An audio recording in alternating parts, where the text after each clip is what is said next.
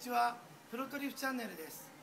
植え付けた秋に植え付けた茎ブロッコリーこんなに大きくなりました。よーく見るともうほらちょっと早いんですけどね。こんな状態でつぼみが出てきています。でもこれこの時期が一番美味しい時期。なので収穫しちゃいます。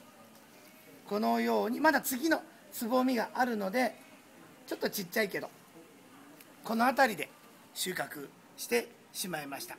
そしてちょっと欲をかいてしまったらこんなに大きくなってしまいました。ちょっともう収穫の時期を逃してしまってますがつぼみがずいぶんぷんぷんと膨らんできてしまってます。